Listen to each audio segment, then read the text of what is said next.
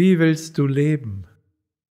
Es trennt der Weizen sich von seiner Spreu, wird Saatgut oder wandelt sich ins Brot.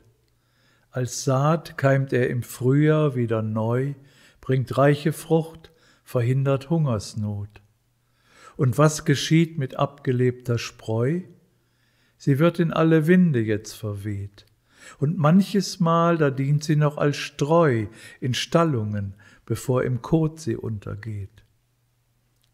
Als Mensch stehst du in der Entscheidungsqual, von Tag zu Tag und immer wieder neu. Im Gleichnis ausgesagt hast du die Wahl. Wie willst du leben, als Weizen oder Spreu?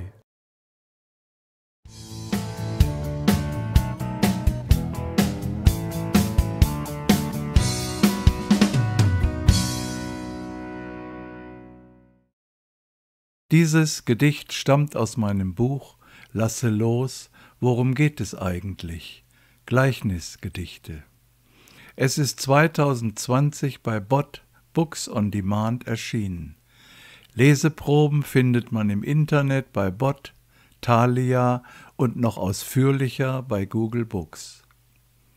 Eine Auswahl aus ihm präsentiere ich mit Gedichten und Liedern auf diesem Kanal unter dem gleichnamigen Titel Worum geht es eigentlich?